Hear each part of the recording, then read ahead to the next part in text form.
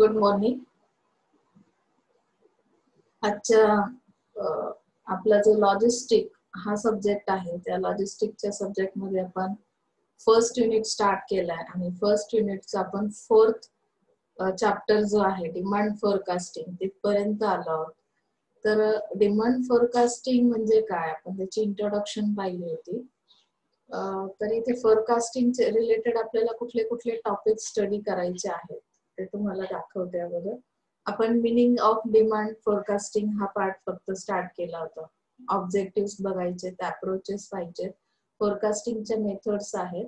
Numericals on moving average आता यामध्ये तुम्हाला जे काही न्यूमरिकल्स ऑन मुव्हिंग ऍव्हरेज आहे त्यावर आपल्याला प्रॉब्लेम सोडून दिलेले आहेत. ते आज आपण एक्सप्लेन करणार आहे. त्यामध्ये काही अडचण येण्यासारखं नाहीये. शक्यतो तर त्याच्यावर फार वेळेस क्वेश्चन येत नाही. पण जेव्हा जेव्हा विचारलेले आहे त्या इयरचे आपण काय केले पर्टिक्युलर ते प्रॉब्लेम सोडवलेले. मी तुम्हाला एक्सप्लेन करून सांगणार आहे. ओके ना? तर आपण इथून पुन्हा एकदा स्टार्ट करूया. मिनिंग ऑफ डिमांड फोरकास्टिंग हे बघा आपलं जे लॉजिस्टिक आहे कॉमनचा सब्जेक्ट आहे आणि कोणीही त्याला निग्लेक्ट करू नका.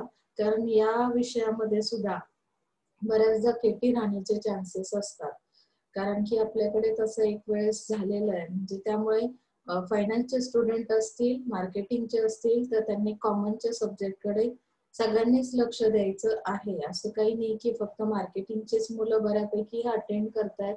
फायनान्स वाल्यांनी सुद्धा अटेंड करा कारण कॉमनचा जरी सब्जेक्ट राहिला तरी एक इयर तुमचं वेस्ट जाऊ शकतं. आलं लक्षात? त्यामुळे तो जरी इझी सब्जेक्ट असेल पण लेक्चर केले तर तुम्हाला तुमच्या ओन वर्ड्समध्ये एक्सप्लेन करता येईल. Okay so let's see first meaning of demand forecasting what is mean by demand forecasting forecasting म्हणजे काय की इन ऍडव्हान्स तुम्ही प्रिडिक्शन करणं फ्युचरसाठी कशा पद्धतीने तुम्ही डिमांड फोरकास्टिंग करणार आहात? So demand forecasting is a projection and prediction made on the basis of relevant logical assumptions of the volume likely to be produced, transported and sold. आता तुम्हाला इथे लॉजिकल अजम्पन्स असं सांगितलं की तुम्हाला इथे लॉजिक्स तुमचे डेव्हलप झालेले असले पाहिजे. बऱ्याचदा आपण एखादी सिच्युएशन एक्सप्लेन करतो क्लासमध्ये सुद्धा. आणि ती सिच्युएशन कशी क्रिएट झाली किंवा आता सध्याची कंडिशन काय आहे? तर त्यानुसार आपण फ्युचरमध्ये काय असू शकतं? एखादा मॅटर आहे आपण त्याच्यावर चर्चा करतोय. मार्केट रिलेटेड मॅटर डिस्कस केलंय की मार्केटमध्ये सध्या काय कंडिशन आहे? आता जर तुम्ही बघितलं मार्केटची कंडिशन ह्या कोविड नाईन्टीन मध्ये तर तुमच्या लक्षात येईल की येणारे दोन वर्ष तरी म्हणजे पुन्हा मार्केटला ग्रीप घ्यायला आणखी एक दोन वर्ष तरी जातील की कंटिन्युटी त्यामध्ये यायला. त्यामुळे मग आपल्याला जर प्रोडक्शन रिलेटेड काही फोरकास्टिंग करायचं असेल मॅन्युफॅक्चरिंग प्रोसेस रिलेटेड असेल सेलिंग रिलेटेड असेल तर डिमांड कशी असेल ह्यासाठी जे प्रिडिक्शन केलं जाईल ते कशाशी रिलेटेड रिलिव्हंट कशाशी असेल की तुमचे लॉजिकल अजम्पन्स काय सांगतात? And volume likely to be produce transported and sold म्हणजे आता ट्रान्सपोर्टेशन हा पार्ट कसा झाला? किंवा सेलिंग हा पार्ट कसा आहे? म्हणजे त्यानुसार आपण काय करू शकतो? की आपले लॉजिक्स यूज करून ते प्रिडिक्शन करू शकतो. लक्षात आलं? So objective of demand forecasting आता हे करण्याची काय गरज आहे? किंवा त्याचे ऑब्जेक्ट काय आहेत म्हणजे मेन जे काही आपण डिमांड फोरकास्टिंग करतो. तुम्ही म्हणाल मॅडम आत्ताच खूप झालंय आम्हाला. मग आम्ही फ्युचरचा कशाला विचार करू? पण मार्केटमध्ये जेव्हा तुम्ही as a businessman as a marketer म्हणून काम करताय तर तुम्हाला त्या फील्डमध्ये कंटिन्युअस जर राहायचं असेल तर तुम्हाला ह्या सगळ्या प्रोव्हिजन्स कराव्या लागतात. हे सगळ्यात मेन असतं. सपोज तुम्हाला आता जर मार्केटचं मार्केट रिलेटेड अनालिसिस करायचं आहे मार्केट रिलेटेड रिसर्च करायचं आहे. तर याच्यासाठी येणाऱ्या भविष्यात मला काय काय लागेल? जसं तुम्ही विचार करता की नाही आज माझ्याकडे सगळ्या गोष्टी आहेत तरी सुद्धा इन फ्युचर ती डिमांड काय होणार आहे? तुमची वाढत जाणार आहे तुमच्या गरजा वाढत जाणार आहेत. तसं इथे मार्केटचं सुद्धा आहे. सो त्याचं फर्स्ट ऑब्जेक्ट दिलेलं आहे सेल्स प्लॅनिंग ऑब्जेक्टिव्हमध्ये काय?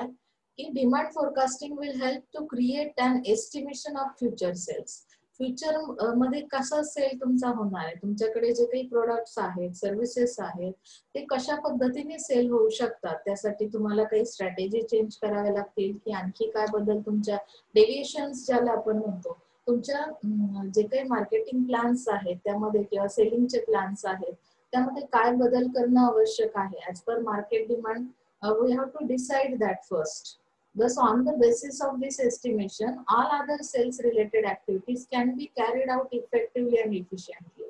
जब तक हमें पता नहीं चलता है कि मार्केट में एग्जिस्टिंग मार्केट क्या कहता है? एग्जिस्टिंग मार्केट की सिचुएशन क्या है? और आगे जाके अगर हमें सेल करना है तो इस मार्केट के लिए हमें कौन सी प्रोविज़न करनी पड़ेगी? सेलिंग प्लान जो बना रहे हम लोग तो उसमें इफिशियंसी और इफेक्टिवनेस लाने की ज़रूरत है। तो हम लोग उस रिलेटेड एक्टिविटीज़ को क्या करेंगे?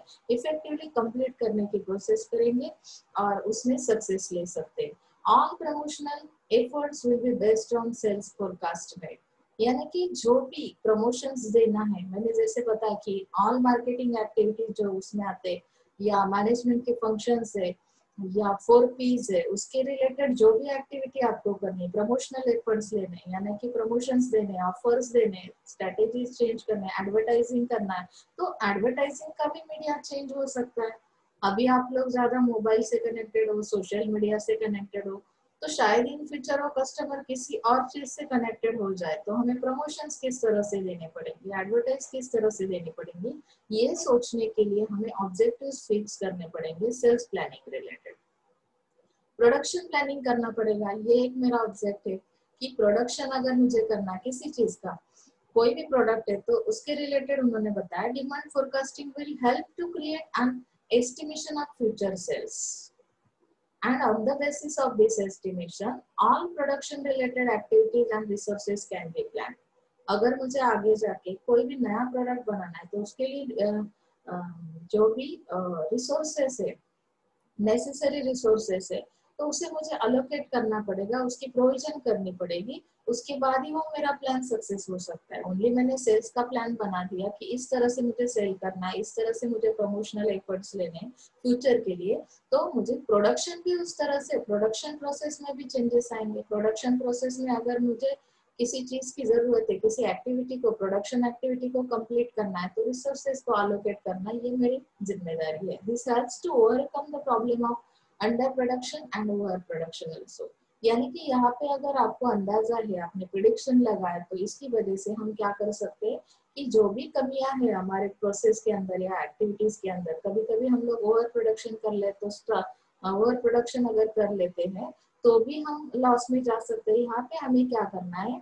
मिनिमाइज मिनिमाइज करना है कॉस्ट को और मैक्सिमम आउटपुट्स लेने, यानी कि रिटर्न्स यानी कि प्रॉफिट ओके सो so, यहाँ पे अंडर प्रोडक्शन यानी कि कम प्रोडक्शन भी नहीं करना है और ओवर प्रोडक्शन भी नहीं करना है। तो ये सब किसकी वजह से पॉसिबल होगा। अगर हमने डिमांड के बारे में जानकारी ली है डिमांड फोरकास्टिंग के बारे में हमारे पास नॉलेज है तो शायद ये पॉसिबल होगा। Adequate purchasing of materials now let's see buying too much और too little inventory can be serious disaster तो यहाँ पे जैसे हमने प्रोडक्शन के बारे में अंडर प्रोडक्शन और ओवर प्रोडक्शन देखा तो यहाँ पे जो परचेस किया जाने वाला मटेरियल है, जो रॉ मटेरियल आप लोग परचेस करते हो कि प्रोडक्शन प्रोसेस में आपको यूज़ करेंगे, आप रिसोर्सेस का यूज़ करते हो तो इन्वेंटरी में जो लिस्ट ऑफ़ प्रोडक्ट्स है तो उसका भी हमें स्टॉक जो भी रखना है बाय करते हैं हम लोग प्रोडक्ट्स तो इन्वेंटरी की जो लिस्ट है वो टू मच स्मॉल और टू मच बिग इस तरह की नहीं होनी चाहिए, यानी कि बाइंग किस तरह का होना चाहिए एज पर मार्केट डिमांड तो हम लॉस में नहीं रहेंगे. By forecasting your sales you will have a better idea of how much to buy and whether it will be advisable यानी कि आपको बाइंग की प्रोसेस के बारे में आइडिया मिलेगा और it it will be advisable to add additional investment तो आपका जो भी एक्सपेंसेस uh, है जो यहाँ पे बचने वाले और अगर आपने ओवर परचेसिंग कर लिया तो शायद आप वो जो अमाउंट है वो किसी और इसमें एडिशनल इन्वेस्टमेंट नहीं कर पाएँगे। तो यहाँ पे ये सब एडिक्वेट परचेसिंग ऑफ़ मटेरियल ये भी पॉसिबल है डिमांड फोरकास्टिंग की वजह से। तो हम क्या करेंगे? इन्वेंटरी को प्रॉपर मेंटेन करने की कोशिश कर सकते हैं। इसमें हमारा जो भी वेस्टेज है वो अवॉइड किया जाएगा। ओके ना? So next thing is framing proper policies Effective demand forecasting will help in framing proper policies with respect to various fields such as production, sales, purchasing, warehousing, inventory and distribution also. जैसे कि हम लोगों ने अभी तक जितने सारे process यहाँ पे पढ़े हैं वेयर हाउसिंग की प्रोसेस क्या करती है? वेयर हाउसिंग में भी स्टॉक मटेरियल रखा जाता है, वो रॉ मटेरियल रिलेटेड भी हो सकता है फिनिश प्रोडक्ट्स भी हो सकते हैं इन्वेंटरी में तो प्रोडक्ट की लिस्ट रहेगी। डिस्ट्रीब्यूशन के लिए जो भी हम प्लान करते हैं डिस्ट्रीब्यूशन चैनल्स वहाँ पे यूज़ किए जाते हैं।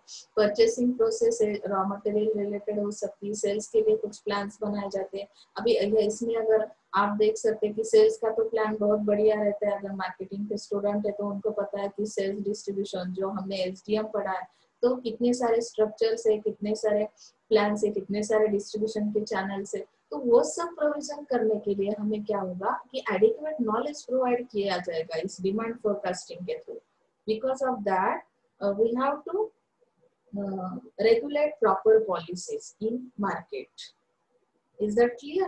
So next is enables to make a sound plans. जो भी हमारे प्लान्स है दैट इन दैट प्लान्स ये right sound plan sound plan मतलब क्या है? कि बहुत बार बहुत ज़्यादा चीज़ें ऐसी रहती है कि जो रियलिस्टिक नहीं रहती। तो हमें अनरियलिस्टिक ऐसी कोई चीज़ नहीं करनी है। तो हमें रियलिस्टिक पे क्या करना है? फोकस करना है। यानी कि जो भी प्लान बनाया जाएगा तो सही में हमें वो रिलायबल इंफॉर्मेशन होनी चाहिए।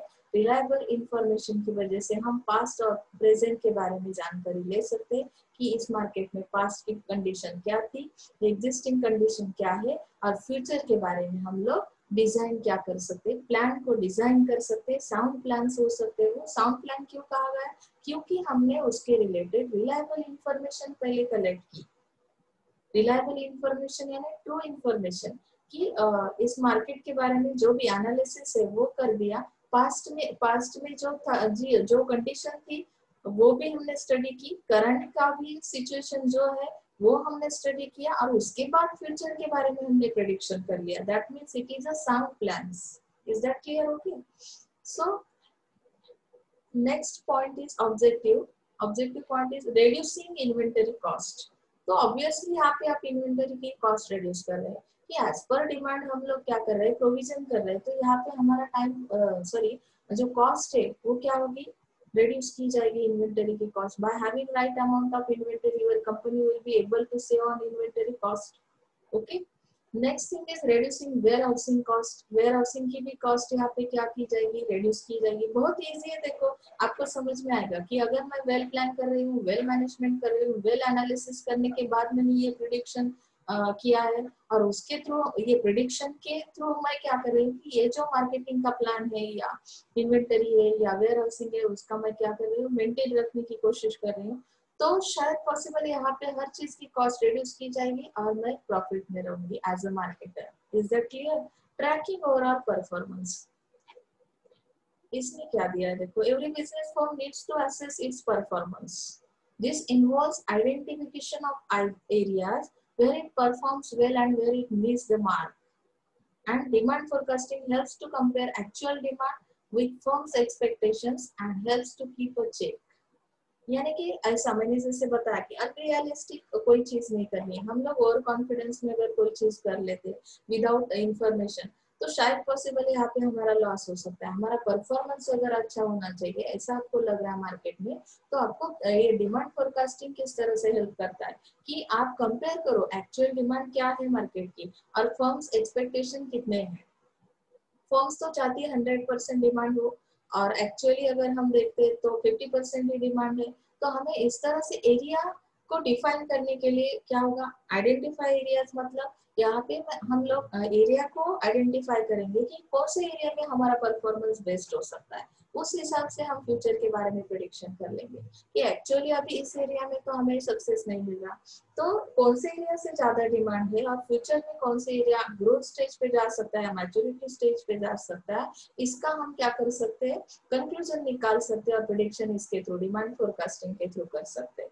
Is that clear effective labour management कर सकते अगर लेबर्स कितने चाहिए, अभी यहाँ पे नंबर ऑफ़ वर्कर्स क्या करते काम करते कंपनी में, आपको पता है कि demand forecasting also helps in labour management also it estimates number of workers required and plans its training programme अगर हमें पता चलता है कि फ्यूचर में हमें कुछ वर्कर्स को बढ़ाना चाहिए, आज तो हमारे पास जितने अभी हंड्रेड कस्टमर सॉरी वर्कर्स अगर आपके अंदर काम कर रहे हैं ऑर्गेनाइजेशन के अंदर तो आपको क्या करना कि अगर फ्यूचर में मुझे ज़रूरत पड़े, मेरी डिमांड बढ़ सकती है, ऐसा मैं प्रिडिक्शन कर रही हूँ डिमांड फोरकास्टिंग के थ्रू तो मुझे क्या करना होगा कि जितने भी ज़्यादा वर्कर्स मैं अपॉइंट करूँगी, उनको भी ट्रेनिंग देना, ये ये ट्रेनिंग का जो प्रोग्राम है, वो अरेंज कर लूँगी तो शायद फ्यूचर में मुझे कोई प्रॉब्लम या कोई दिक्कत नहीं हो सकती। इज़ दैट क्लियर तो लेबर मैनेजमेंट भी यहाँ पे हो सकता है। Now let's see the approaches to forecasting किस तरह का आपका अप्रोच होगा? फोरकास्टिंग करते वक्त हम लोग किस तरह से अभी अगर मुझे मार्केट का एनालिसिस करना है कौन से एरिया से मुझे डिमांड ज़्यादा है कौन से एरिया में कम है ये अगर मुझे आइडेंटिफाई करना है तो first you have to see this diagram total demand ten thousand ten thousand unit से ये। तो ये uh, जो दिया है उन्होंने डिस्ट्रीब्यूशन ये डिमांड है demand countries one sorry distribution centre है डीसी का okay distribution centre one Mumbai यहाँ पे मुंबई दिया है, एक सिटी दी है, जिसकी डिमांड कितनी है? फोर थाउज़ेंड यूनिट्स की है। यहाँ पे डिस्ट्रीब्यूशन सेंटर सेकेंड है, दिल्ली, जिसकी डिमांड है थ्री थाउज़ेंड यूनिट्स और यहाँ पे डिस्ट्रीब्यूशन सेंटर थ्री कोलकाता है टू थाउज़ेंड यूनिट्स और डिस्ट्रीब्यूशन सेंटर फोर है, चेन्नई, जिसकी डिमांड होगी वन थाउज़ेंड यूनिट्स ओके तो यहाँ पे चार सिटीज़ आपको दिए हैं और टोटल डिमांड यहाँ पे दिए तो यहाँ पे एक्चुअली ये जो टॉप डाउन अप्रोच है, इसमें क्या किया जाता है? Let's see first the top down approach develops national level forecast and then spread the volume across location on the basis of historical sales pattern. यानी कि आपने क्या कर दिया? कि नेशनल लेवल फोरकास्ट को आपने डेवलप कर दिया। यहाँ पे it can spread the volume across locations यानी कि हिस्टोरिकल सेल्स पैटर्न क्या है आपका? For example suppose the aggregate monthly forecast for the entire country यानी कि जो चार कंट्रीज़ डिस्ट्रीब्यूशन सेंटर्स आपको दिए हैं तो उन्होंने एग्रीगेट किया उनका। और एग्रीगेट करने के बाद हमें कितने यूनिट्स मिल रहे हैं? टेन थाउज़ेंड यहाँ पे टोटल डिमांड आप लोग डायग्राम में देख रहे हैं। तो assume that the firm uses four distribution centres उन्होंने एज्यूम किया इमेजिन किया कि अगर ये चार सेंटर्स है डिस्ट्रीब्यूशन के to serve the demand with historical split of forty thirty twenty ten percent तो इस तरह के परसेंटेज अगर हिस्टोरिकल रिकॉर्ड अगर आपके पास है डेटा है आपके पास कस्टमर का कि कितनी डिमांड है तो इस तरह से उनकी डिमांड आपने क्या कर दी? डिवाइड कर दी। In this case forecast for individual distribution centre are projected to be यानी कि 4000 3000 ये जो दिया है यूनिट्स क्या कर दिए? उनके लिए डिस्ट्रीब्यूट किए। एज पर हिस्टोरिकल पैटर्न यानी कि आपका जो पास्ट रिकॉर्ड है, उसके हिसाब से आपने ये जो टोटल डिमांड है तो उस तरह से डिस्ट्रीब्यूट कर दी ये यूनिट्स यानी कि इस तरह के प्रोडक्ट्स या hundred unit sorry one thousand units two thousand units three thousand and four thousand units तो ये आपका क्या अप्रोच है? कि टॉप टॉप डाउन अप्रोच बहुत इजी आहे आसान आहे समजणे के लिए. फर्स्ट तुम्ही काय केलं? की पहिल्यांदा तुम्ही रेकॉर्ड तयार केलं पास्ट हिस्ट्री चेक केली. त्यानुसार जे काही पर्सेंटेज तुमच्याकडे आलेला आहे तर तुम्ही डिस्ट्रीब्युशन सेंटरला काय केलं? की ते त्या पद्धतीने डिस्ट्रीब्यूट करून दिले युनिट्स आलं लक्षात?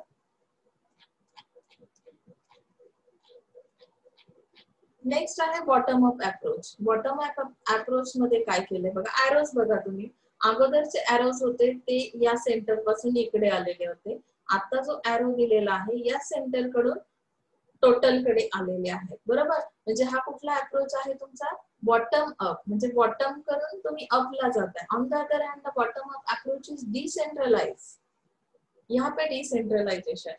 यानी कि since each distribution centre forecast is develop independently तो अभी यहाँ पे उन्होंने बताया कि ये जो डिस्ट्रीब्यूशन सेंटर से उन्होंने एक एक सेंटर uh, का क्या किया है कि रिकॉर्ड बनाया है। इंडिपेंडेंटली फोरकास्टिंग किया है कि उनको उनको फ्यूचर में कितनी डिमांड हो सकती है। As a result each forecast can more accurately track and consider demand fluctuations within specific markets तो यहाँ पे जो चार मार्केट्स आपको दिख रहे हैं तो इसमें कितने, कितना डिफरेंस है, कितनी फ्लक्चुएशन है डिमांड में? जैसे आप देख सकते हैं, मुंबई में अगर थ्री थाउज़ेंड यूनिट की डिमांड है तो टू थाउज़ेंड यूनिट की डिमांड दिल्ली में है।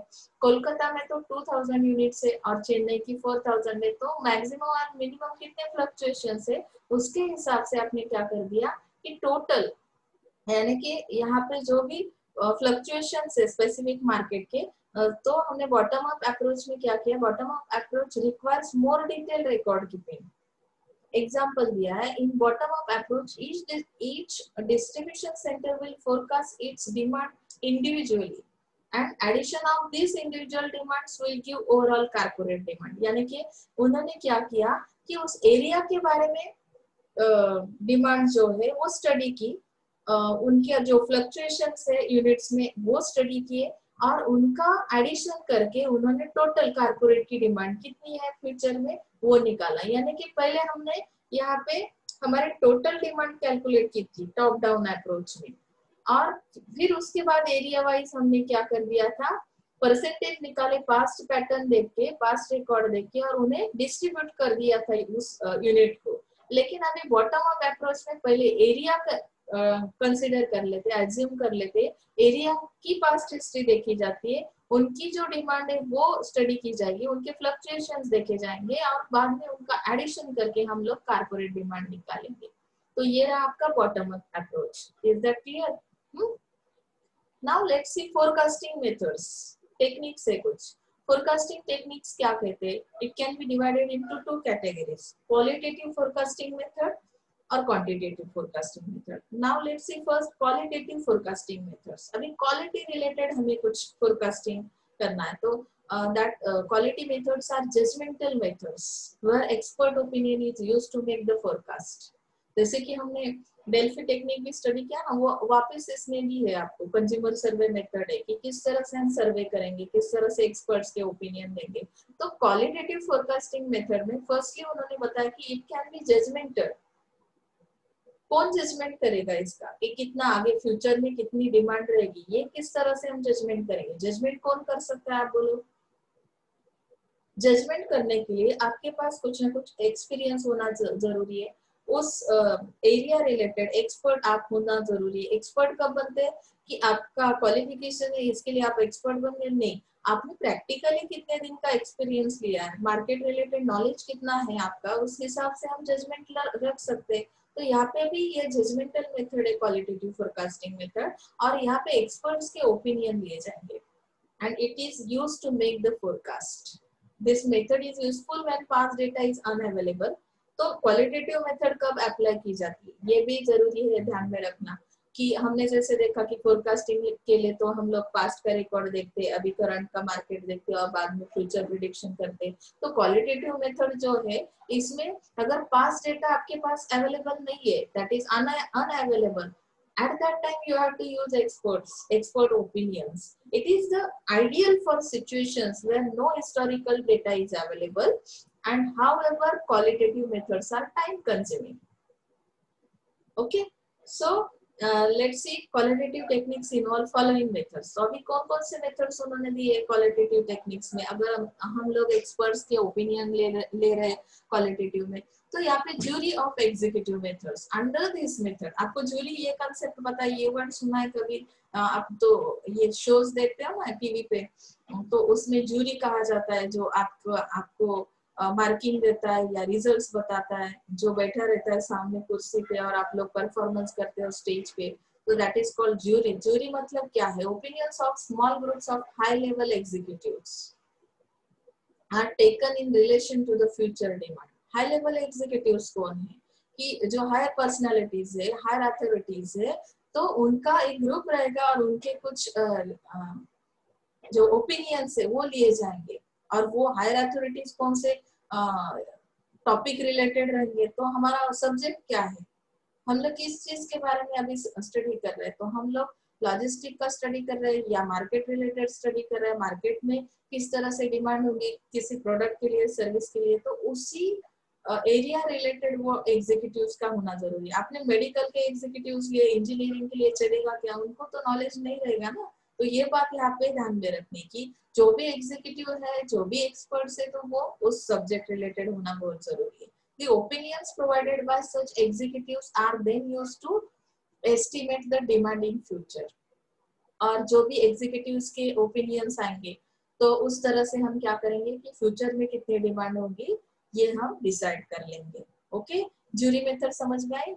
यहाँ पे हाई लेवल एग्जीक्यूटिव्स है और group of high level executives that are uh, provided some opinions and to estimate the demand in future okay now let's see second method qualitative technique कौन सा है तो consumer survey method under this method efforts are being made to collect information from consumer about their purchasing plans in the near future यानी कि यहाँ पे कुछ customer related information collect की जाएगी कि उनका परचेसिंग प्लान किस तरह का है? कि इन फ्यूचर वो किस तरह के प्रोडक्ट्स को लाइक करेंगे, या किस तरह के नीड्स उनके रहेंगे, या वो किस तरह के एक्सपेक्टेशंस मार्केट से रखते हैं? जैसे कि आप लोगों को मैं बार बार ये एग्जांपल क्यों देती हूँ? क्योंकि आप लोग उसमें आपका एक्सपीरियंस है। जैसे कि आप अगर फोर यूज़ कर रहे हैं तो आप लोग ऑब्वियसली ये सोचोगे कि मुझे आगे जाके फ्यूचर में फाइव जी की भी मेरी डिमांड हो सकती है। तो this is the one of the most direct approach to demand forecasting इसके लिए हम लोग क्या करेंगे? की इंफॉर्मेशन कस्टमर रिलेटेड कलेक्ट की जाएगी, उनके फ्यूचर रिलेटेड परचेसिंग प्लान के बारे में हम जानकारी लेंगे और उसके बाद हम डिमांड फोरकास्टिंग करेंगे। ये कंज्यूमर सर्वे मेथड है। Is that clear now let see third method is assessment by sales under this method The sales representative gives the estimate of expected sales of his her, of his or her territory area. A thorough review is done of this estimate so as to ensure whether they are realistic or not and later they are combined to arrive at a forecast. यानी कि यहाँ पे क्या किया जाएगा कि जो finally हम लोग सोचते हैं ना कि डायरेक्ट कांटेक्ट किसका आता है कस्टमर के साथ जो सेल्स पर्सन है तो सेल्स पर्सन क्या करेंगे या सेल्स रिप्रेजेंटेटिव क्या करेंगे कि उनकी एरिया में, जो एरिया उनके लिए एलोकेट किया, जैसे हमने सेल्स एंड डिस्ट्रीब्यूशन में देखा ना, जो हमारा सब्जेक्ट है मार्केटिंग का तो उसमें हमने देखा कि पर्टिकुलर एक सेल्स पर्सन एक एरिया के लिए अपॉइंट किया जाएगा और वहाँ पे कितना सेल होता है उनके एरिया में टेरिटोरी में।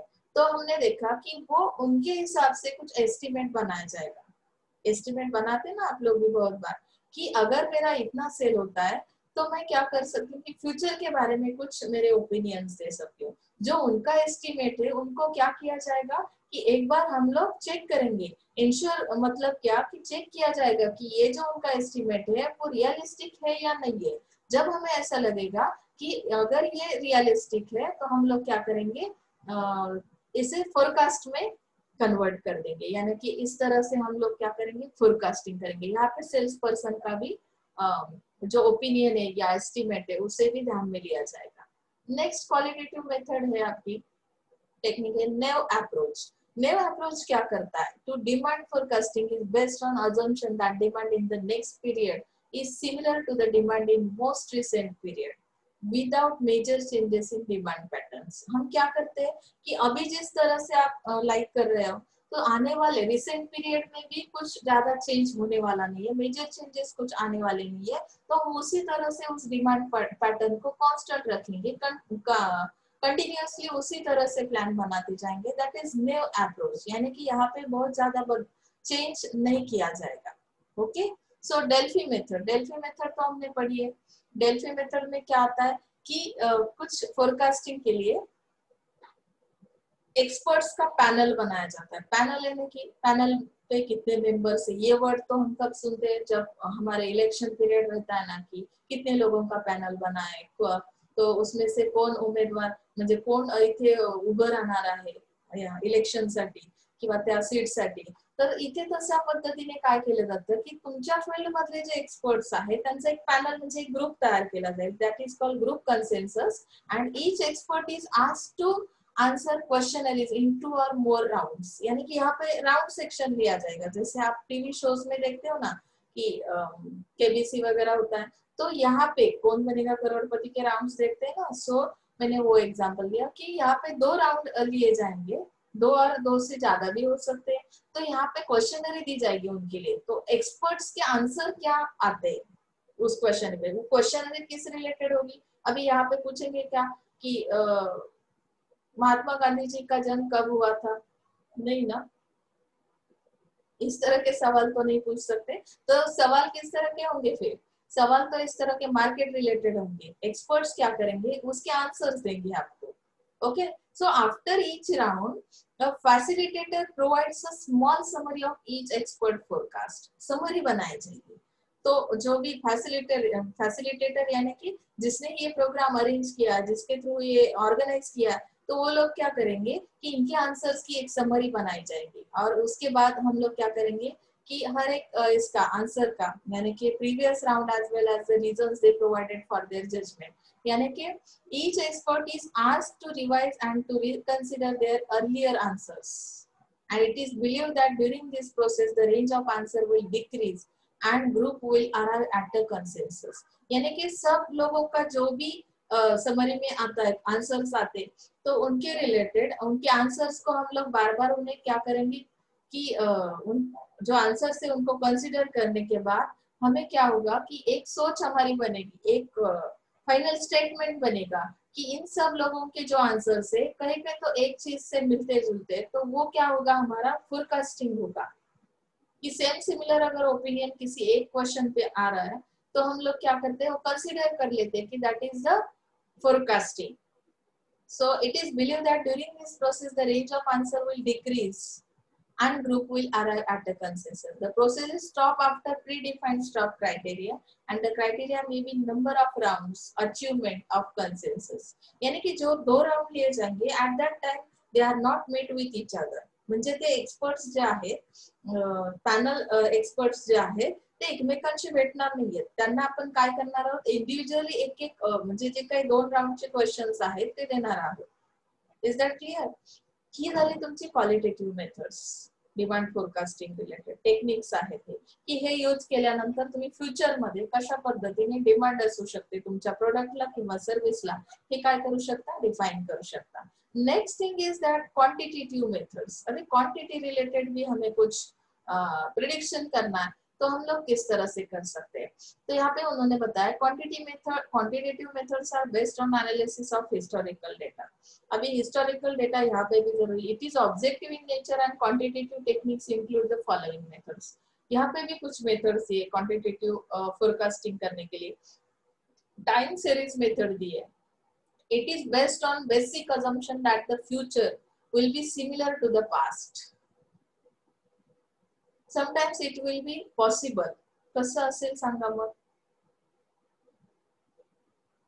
Future will be similar to the past madam हे कसं शक्य आहे? तुम्ही म्हणाल क्वेश्चन मार्क इन जनरल तुम्हाला एक स्टेटमेंट सांगते की बऱ्याचदा आपण असं म्हणतो इंडिव्हिज्युअल सांगते की जेव्हा आपण ओल्ड वन एजला जातो तेव्हा आपण पुन्हा लहान मुलांसारखे बिहेव्ह करायला सुरुवात करतो. आपलं जे फ्युचर आहे ते पुन्हा पास्टकडे जातं. पुन्हा आपण स्टार्टिंग स्टेजला जातो. म्हणजे काय होतं नक्की? This implies that existing demand pattern will continue in the future म्हणजे पास्टमध्ये ज्या पद्धतीने डिमांड पॅटर्न होता तोच काय हो, तोच काय एक्झिस्टिंग आत्ताची जी डिमांड आहे ती कशी असेल? फ्युचरमध्ये सेम असेल. This assumption is often reasonably correct in short term short term साठी हे पॉसिबल आहे. लॉंग टर्मचं नाही सांगू शकत. सपोज़ पुढच्या सहा महिन्यामध्ये म्हणजे जसं आता आता ज्या प्रोडक्टला डिमांड करताय तुम्ही तोच पुढच्या सहा महिन्यामध्ये चालू शकतो. म्हणजे शॉर्ट टर्म पुढच्या सिक्स मंथ साठी मी हे टाइम सिरीज मेथड युज करू शकते. But I want to forecast about five years या टू इयर्स तो मुझे क्या करना पड़ेगा? कि ये मेथड उसके लिए करेक्ट नहीं है.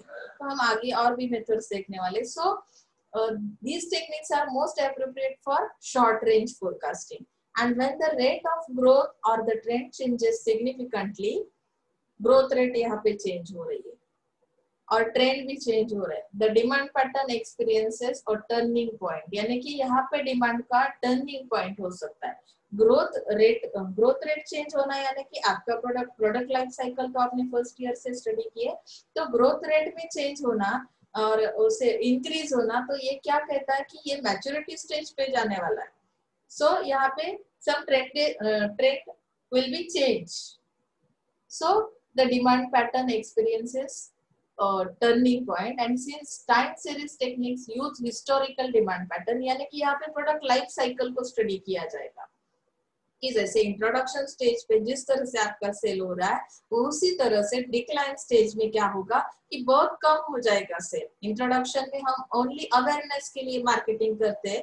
यहाँ पे प्रॉफिट के बारे में नहीं सोचते. हमें क्या करना है? इस मार्केट में अवेयर करना है कस्टमर को और इस तरह से सेलिंग स्टार्ट करना है. वैसे ही क्या होता है कि लास्ट स्टेज में जाने के बाद हम लोग वो प्रोडक्ट मार्केट से चला जाता है. कोई और अनाउंसमेंट कर लेते हैं और कोई नया प्रोडक्ट मार्केट में एंट्री करता है.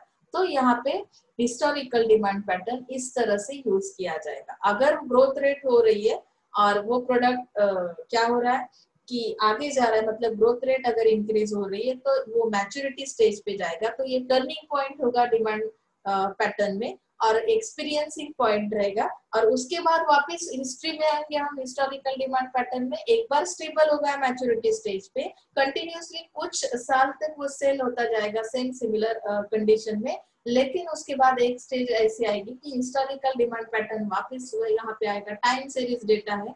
तो क्या होगा कि वो डिक्लाइन पे जाएगा। That is the sensitive to turning point okay time series method includes what things? काय आहे याच्यामध्ये? टाइम सिरीज मेथडमध्ये मुव्हिंग ऍव्हरेज आहे. आता आपल्याला डिमांडच्या बाबतीत आपण जो काही चढ उतार होतोय तो बघितला. त्यावर आपल्याला काही प्रॉब्लेम सॉल्व्ह करायचे आहे. जेव्हा जर तुम्हाला अगोदरचा थेरी पार्ट समजला असेल ना तर ऑटोमॅटिकली हे प्रॉब्लेम्स इझिली तुम्ही समजून घेऊ शकता. Moving average forecasting uses and average of the most recent period sales यानी कि आने वाले कुछ पीरियड के लिए, जो भी हम क्या करते हैं? फोरकास्टिंग करते हैं। उससे हमें क्या पता चलता है? मूविंग एवरेज फोरकास्टिंग यूजेस यानी कि मूव हो रहा है प्रोडक्ट ग्रोथ रेट हो रही है। तो हम क्या करते हैं? आने वाले कुछ पीरियड्स के लिए सेल्स का फोरकास्टिंग कर लेते हैं। एवरेज में contain any number of previous time में पीरियड्स यानी कि कौन से भी नंबर एवरेज के लिए हम कौन से भी नंबर क्या कर सकते हैं? एनी प्रीवियस टाइम पीरियड्स यानी कि कौन सा भी पीरियड मंथली ले सकते जनवरी फेब्रुवरी मार्च अप्रैल में अशा पद्धतीने three four five period average are commonly use and the moving averages are easy to calculate, but there are some limitations. And they do not respond to sudden market changes. यानी कि यहाँ पे moving average निकालना तो बहुत easy है। कितने period के लिए निकालना है? थ्री मंथ्स का निकालना है फोर मंथ्स का निकालना है फाइव पीरियड का निकालना है। यानी कि यहाँ पे टाइम दिया जाएगा आपको टाइम पीरियड दिया जाएगा। उस तरह से हम एवरेज निकाल सकते लेकिन एवरेज निकालने के बाद उन्होंने एक चीज़ और मेंशन की है they do not respond to sudden market changes इसकी वजह से रिस्पॉन्ड नहीं दे सकते हम मार्केट चेंजेस को। तो moreover large amount of historical data must be mention and updated to calculate forecast तो हिस्टोरिकल डेटा जो है तो पास्ट रिकॉर्ड्स हम लोग देते हैं ना, कि उसकी वजह से हम क्या कर सकते हैं? रिसेंट पीरियड का थ्री फोर फाइव का अगर दिया डेटा तो हमें एवरेज निकालना इतना आसान नहीं होगा। लेकिन हमारे पास बहुत सारे हिस्टोरिकल डेटा अवेलेबल है, और उसके थ्रू हमें अगर थ्री फोर फाइव का क्या निकालना है मूविंग एवरेज निकालना है तो ये पॉसिबल है और इसे हम इजीली कैलकुलेट कर सकते हैं। So let's see examples three period moving average example कैसे आता है? मतलब कि एग्ज़ाम के लिए ये एग्जांपल आगे भी है डिटेल्स में, जो एग्ज़ाम में आए हुए जो प्रॉब्लम्स है तो उसे भी हम सॉल्व करने वाले अभी एग्जैक्टली मूविंग एवरेज किस तरह से निकाला है? देखो कि उन्होंने थ्री पीरियड मूविंग एवरेज का एग्जांपल दिया है। टाइम पीरियड कितना है? थ्री पीरियड मूविंग एवरेज ये ध्यान में रखना है। प्रॉब्लम एग्जैक्टली क्या है? फर्स्टली रीड करो। मंथ्स दिए जनवरी फेब्रुवरी मार्च अप्रैल टाइम पीरियड कौन सा दिया है? जनवरी फेब्रुवरी मार्च अप्रैल यानी फोर मंथ्स दिए। थ्री पीरियड का मुझे मूविंग एवरेज निकालना है। और एक्चुअल डिमांड कितनी है? जनवरी की दी है फेब्रुवरी यानी ये पास्ट हिस्ट्री है। हिस्टोरिकल डेटा मेरे पास अवेलेबल है कि एक्चुअल जनवरी में कितना डिमांड मतलब मेरे प्रोडक्ट की डिमांड कितनी थी? हंड्रेड प्रोडक्ट्स की फेब्रुवरी में टू फिफ्टी की थी और मार्च में थ्री हंड्रेड एंड टेन की थी। तो मुझे अभी थ्री पीरियड मूविंग एवरेज निकालना है। तो मुझे अप्रैल का अगर फोरकास्टिंग निकालना है तो मुझे जो पास्ट थ्री मंथ्स है तो उनका रिकॉर्ड मेरे पास पास्ट हिस्ट्री मेरे पास अवेलेबल है। तो इसका यूज़ करके मुझे क्या है कि ये मूविंग एवरेज निकालना है तो मुझे क्या करना पड़ेगा कि जो past three three period moving average निकालना है तो इनको जनवरी का कितना दिया है देखो हंड्रेड इसमें प्लस क्या करना है? फेब्रुवरी का two fifty plus three one ten इन तीनों को मुझे क्या करना है? एडिशन करनी है इनकी. क्यों? क्योंकि मुझे थ्री पीरियड मूविंग एवरेज निकालना है. और थ्री पीरियड्स की एक्चुअल डिमांड को मुझे क्या करना पड़ेगा? एडिशन करनी पड़ेगी उनकी और डिवाइडेड बाय थ्री करना पड़ेगा क्योंकि मुझे कैलकुलेट क्या करना है? Three period moving average calculate करना है। इस तरह से मैं कौन सा फोरकास्ट करूँगी कि अप्रैल मंथ के लिए कितनी डिमांड हो सकती है फोरकास्टिंग में यानी फ्यूचर में। तो उसका मैं फोरकास्टिंग कर सकती हूँ। तो forecasting of April let see कर्सरवर लक्ष ठेवा म्हणजे तुमच्या लक्षात येईल forecast April is equal to तो एवरेज इसी तरह से निकाला जाता है कि जितने सारे आपको एवरेज निकालने के लिए ये अमाउंट दी जाती है उसे प्लस किया जाता है और थ्री पीरियड का इसके लिए थ्री से हम डिवाइड करेंगे और ये कैलकुलेशन जो आएगा आपका इसका जो भी आंसर है टू ट्वेंटी रहेगा। तो ये आप कैलकुलेटर से कर सकते हैं। यहाँ पे तो मेरे हाथ में अभी चौक डस्टर नहीं है यहाँ पे मैं नहीं कर सकती। सो so, ये आपको समझ में आएगा बहुत ईजी इसकी एडिशन कितनी आएगी फिर? 350 प्लस 360 uh, 660 660 को अगर 3 से डिवाइड करते तो 220 आपका क्या होगा? फोरकास्टिंग uh, होगा। इतना आपको डिमांड करेगा। मतलब कि फ्यूचर में आपकी अप्रैल में डिमांड कितनी होगी? जनवरी में इतनी है इसमें इतनी है फेब्रुवरी में मार्च में इतनी है तो थ्री पीरियड मूविंग एवरेज निकालने के बाद मुझे अप्रैल का फोरकास्टिंग मिलता है टू ट्वेंटी किस तरह से आया समझ में आया? समझेगा ही आपके पास ये नोट्स भी रहेंगे, मैं लिंक सब इसके सेंड करने वाली हूँ okay four period moving average अभी फोर पीरियड निकालना है तो फोर मंथ्स का मेरे पास क्या है? एक्चुअल डिमांड कितना था? ये मेरे पास डेटा अवेलेबल है, ये दिया जाता है प्रॉब्लम में। तो हमें कुछ दिक्कत नहीं होती है। फोरकास्टिंग अगर मे का निकालना है तो obviously four period moving average है। इस फोर इसको हम क्या करेंगे? फोर मंथ का जो भी डेटा हमारे पास अवेलेबल है you have to add that four quantities and divide by four and आपका आंसर आया फोरकास्टिंग का मे का कितना था? आपको डिमांड कितनी रहेगी मे? में 250 की। Is that clear now let's see exponential smoothing हम टाइम सीरीज़ के जो ये है मेथड से वो स्टडी कर रहे हैं। हमने पहली मेथड कौन सी स्टडी की? देखो आप, भूल मत जाना। Time series method include moving average हमने देखा। अभी प्रॉब्लम्स भी हमने स्टडी की। Now let's see second method is exponential smoothing. Exponential smoothing states that future sales can be estimated on the basis of weighted average of the actual demand. Weighted average कितना है? Actual demand का weighted average कितना है? For the previous year यानी कि previous year में weighted average demand कितनी है? एक्चुअल डिमांड उस हिसाब से हम फोरकास्टिंग करेंगे प्रीवियस ईयर के लिए। Is that clear so let's see one by one this formula. Uh, we have to make some formula. We have to see अभी उन्होंने ft का जो फॉर्मूला दिया है is equal to alpha dot है यहाँ पे यानी यहाँ पे मल्टीप्लीकेशन रहता है इस तरह की अगर डॉट रहता है। D T minus one plus इसका सबका आपको एक्सप्लेनेशन दिया हुआ है कि एफ़ टी क्या है, वो हम देख रहे हैं अभी। Plus one minus alpha F T minus one so let's see what is mean by F T F T is equal to forecasted sales for time period T forecasted sale से time period T दिया हुआ है. That is called F T F T minus one क्या है? Forecast for time period T minus one अभी forecast यहाँ पे भी है फोरकास्ट फॉर टाइम पीरियड है forecast for sales for time period है तो यहाँ पे टी दिया है। और आपका only forecast for time period दिया है तो टी माइनस वन आएगा। डी टी माइनस वन क्या है? It is the actual demand for time period actually demand कितनी है उस टाइम पीरियड के लिए? That is mention here t minus 1 so it is called dt minus 1 alpha is smoothing constant alpha बहुत बार constant रहता है। अभी हम इसका एक एग्जांपल देखते हैं उससे आपको समझ में आएगा इस क्वांटिटीज को किस तरह से हमें उस फॉर्मूला में डालने के बाद वेटेड मूविंग एवरेज आता है। Okay so forecast for the year year दिया हुआ है कि कौन सी ईयर के लिए फोरकास्टिंग uh, आपका फोरकास्टिंग कौन सी ईयर का है? 2009 अप टू 10 2009 का ये forecast for the year six lakh units and actual sales were five lakh units यानी कि फोरकास्टिंग मैंने इतना किया था कि इतना होना चाहिए सेल इतने यूनिट का। लेकिन एक्चुअली सेल कितना हुआ? फाइव लाख यूनिट्स का हुआ।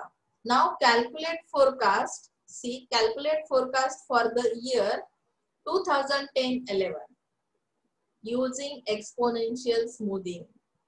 Alpha is equal to 0.80 तो यहाँ पे आपको अल्फ़ा दिया हुआ है स्मूथिंग कांस्टेंट जो है वो दिया हुआ है। आपको उन्होंने जो फोरकास्टिंग किया था इस ईयर के लिए उसके यूनिट्स दिए, लेकिन एक्चुअल सेल्स इतने यूनिट में हुआ है तो मुझे ये फॉर्मूला यूज़ करके F T is equal to alpha D T minus one plus one minus A F T minus one ये क्या करना है? फॉर्मूला में ये क्वांटिटीज डालने कैलकुलेट क्या करना है आपको? Forecast for the year 2010-11 next year का मुझे क्या करना है? फोरकास्टिंग करना है। तो see here alpha is constant what quantity 0.8 okay अभी इसको ब्रैकेट में क्यों लिया? क्योंकि इसको मल्टीप्लाई करना है डी टी माइनस वन के साथ। So we have to multiply here 0.8 multiply by 5 lakh. 5 lakh कौन सी quantity है? Actual sales है. देखो यहाँ पे actual demand for time period t minus one. So read here in problem actual sales were 5 lakh units. Let's see t dt minus one is 5 lakh. So plus formula क्या कह रहा है? Plus 1 minus again alpha's quantity is 0.8. अभी bracket है यहाँ पे तो bracket के बाद क्या आता है, इन दोनों के बीच क्या आता है मल्टीप्लीकेशन आता है ओके ना? सो एफ़ टी माइनस की वैल्यू कितनी है? एफ़ टी माइनस वन क्या है ये? Forecast for time period time period कौन सा था? 2009-10 का। वहाँ पे फोरकास्टिंग कितना किया था? सिक्स लैक्स यूनिट्स का। तो वो एफ़ टी माइनस वन की क्या है? वैल्यू हमें यहाँ पे लेनी है ओके okay? समझ में आ रहा है? आप बार बार अगर देखोगे तो आपको ओनली क्या करना है कि एक्चुअल सेल्स डिमांड कितनी है एक्चुअल डिमांड कितनी है डी टी माइनस वन और टाइम पीरियड कौन सा है? 2009-10 का है। तो वहाँ पे कितना आपका सेल हुआ है? सिक्स लाख यूनिट्स का हुआ है। That is called F T minus one वो आपको क्या करना है? फॉर्मूला में आपके वैल्यूज़ डालने सिंपल है बहुत उसके बाद क्या है? कि आपको इन दोनों ब्रैकेट में जो वैल्यूज़ आपने लिए हैं 0.8 मल्टीप्लाई बाय 5 लाख तो आप ये कर के देख सकते हैं। प्लस करना है one minus zero point eight जो भी वैल्यू आपकी यहाँ पे आएगी, उसे मल्टीप्लाई किया जाएगा सिक्स लाख से। इन दोनों वैल्यूज़ को एडिशन करनी है। अभी इसकी वैल्यू आई four lakh plus twelve lakh sorry twelve one lakh twenty thousand और ये फोर लाख है। तो इसको अगर एडिशन की तो हमारा एफ़ टी एफ़ टी यानी क्या रहता है? Forecasted sales for time period T यानी कि हमें कौन सी फोरकास्टिंग करनी थी?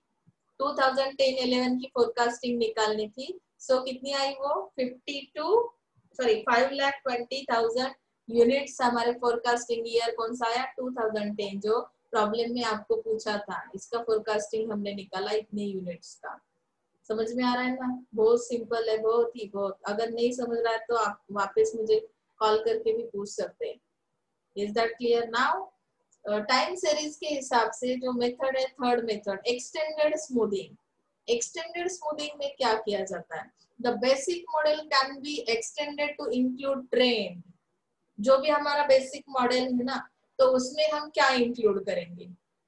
जैसे आप यहाँ पे देख सकते हो, देखो, ये फॉर्मूला दिया है।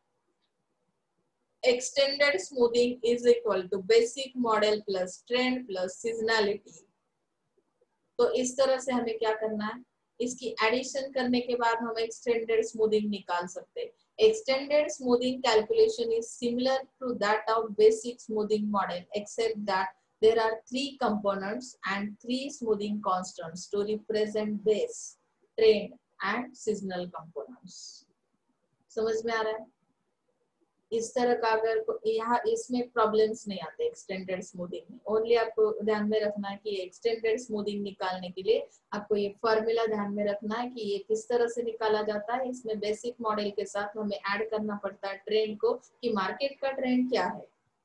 मार्केट तो बहुत फैशनेबल हो गया है। मार्केट का ट्रेंड क्या है? कि कुछ नया चाहिए उसके लिए। सीज़न कौन सा चल रहा है? सीज़न के हिसाब से वो ट्रेंड क्या है? वो भी स्टडी करना पड़ेगा। और इससे हमारा एक्सटेंडेड स्मूथिंग मेथड बन गई अभी कैजुअल टेक्निक्स है कुछ फ़र्स्ट इसमें टाइम सीरीज़ में हमने कुछ मेथड्स देखे now let's see casual techniques they are based on hypothesis that future demand of a product depends on the past or current values of some variables अभी ये hypothesis है आपको hypothesis क्या ये समझ में आएगा नेक्स्ट सेम में हाइपोथेसिस निकालने पड़ते जो भी आप प्रोजेक्ट बना रहे हैं प्रोजेक्ट के अंदर जो हाइपोथेसिस बनाए जाते हैं, उसमें बहुत सारे बच्चों को डिफिकल्टी आती है। तो हाइपोथेसिस बनाते वक्त हमें पॉसिबिलिटीज निकालने पड़ते हैं। पॉसिबिलिटीज यानी जो भी मेरा टॉपिक है, मेरा जो भी सब्जेक्ट है, उसमें फ्यूचर में किस तरह की प्रोविज़न यानी कि कंडीशन क्या हो सकती है? फ्यूचर में मेरे रिजल्ट्स क्या आएँगे? ये प्रोजेक्ट में बना रही हूँ तो प्रोजेक्ट की पॉसिबिलिटीज क्या कहते हैं कि आफ्टर रिसर्च इसकी कंडीशन क्या होगी? एक तो ये कंडीशन होगी, एक तो ये पॉसिबिलिटी होगी या नहीं होगी। इस तरह से हम हाइपोथेसिस बनाते तो future demand of product depends on the past and current values of some variables तो हाइपोथेसिस बेस्ड क्यों है? तो कैजुअल टेक्निक में देखो they try to develop correlations between the future demand of some products and past value of some casual variables. So let's see one example इसके बाद आपको समझ में आएगा कि कैजुअल टेक्निक क्या कहता है। Coffee sales at a football match usually depend on prevailing temperature lower temperature will increase the sales यानी लोअर टेम्परेचर यानी कि कोल्ड सीज़न में क्या होता है? यहाँ पे सेल होता है lower temperature will increase the sales if it is possible to establish good relationship between the two variable अभी यहाँ पे वेरिएबल्स कितने हैं? टू वेरिएबल्स है।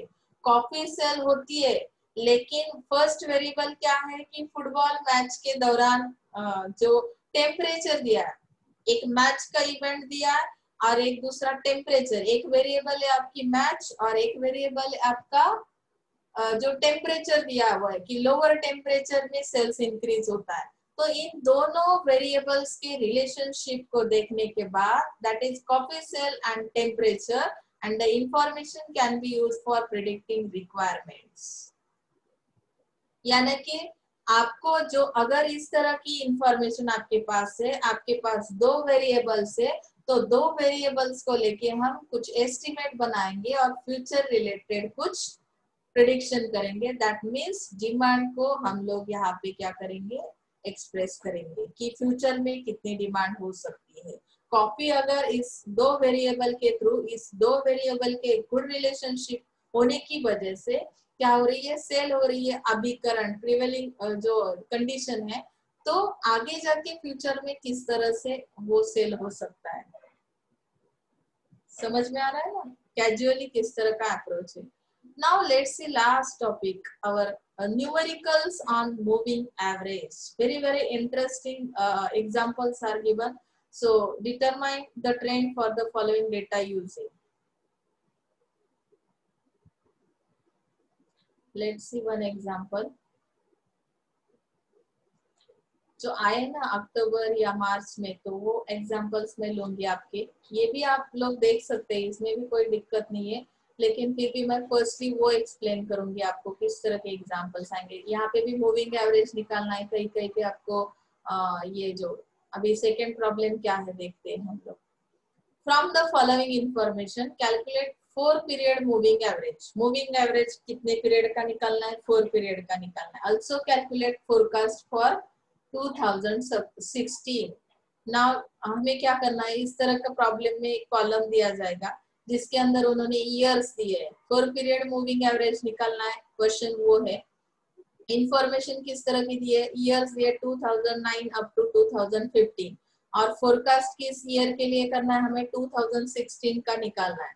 तो हमें यहाँ पे सेल्स इन इस तरह से सेल कितना हो रहा है, उसकी भी वैल्यूज़ दिए हुए कि 2009 में कितनी डिमांड थी 2010 में कितनी थी, इस तरह से सेल कितना हुआ। तो उसके भी वैल्यूज़ दिए हैं प्रॉब्लम में। तो अभी अभी हमारा रोल क्या है? 2016 के लिए, यानी 2015 का डेटा तो मेरे पास अवेलेबल है, पाँच डेटा उसके बाद मुझे फोर पीरियड्स मूविंग एवरेज निकालना है। तो यहाँ पे सॉल्यूशन में आप लोग क्या करोगे कि firstly you have to write first column years last का हमें निकालना है 2016 भी इसमें ऐड कर दो। सेल्स जो भी जितना हुआ, ये भी डेटा आपको प्रॉब्लम में दिया है। Now let's see four period moving average जो क्वेश्चन हमारे लिए प्रॉब्लम में पूछा गया है तो वो कॉलम यहाँ पे बनाना है। और मुझे क्या करना है कि before this 2016 year let's see the take this uh, 2015 sales 235 okay? 212 205 और 195 फोर पीरियड्स का लेना है ना मूविंग एवरेज इनको ऐड कर दो और इनको डिवाइड कर दो फोर से तो आपको ये क्वांटिटी मिलेगी। मूविंग एवरेज निकालते वक्त। समझे ना? हम्म? और एक एग्जांपल बताती हूँ मैं आपको।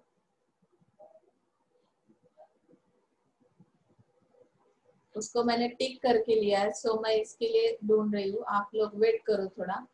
जो प्रॉब्लम्स आए अभी तक एग्ज़ाम में तो वो हम पहले सॉल्व करके लेंगे let's see this example for the following data calculate three period and five period moving average forecast demand for the eleven month year period दिया है कि month first month second month third month ये problem में दिया जाता है आपको। ये अक्टूबर 2016 में आया हुआ प्रॉब्लम है सो so, हम लोग ये सॉल्व कर रहे हैं।